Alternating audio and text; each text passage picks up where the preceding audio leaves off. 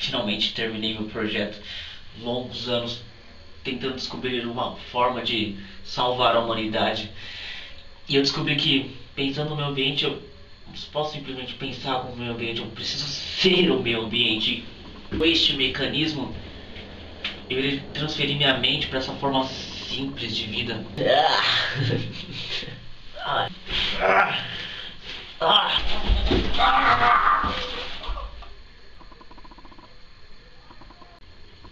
Incrível, funcionou. Agora vejo, sinto como é puro e simples, é tão bonito. Como que a gente conseguiu ser tão cruel? Mas como? Sim. Impossível, como? Você conseguiu controlar meu corpo, não, não, por favor, a gente pode te ajudar. Mas não vou mais. Humanos. Ah, eu irei destruir vocês.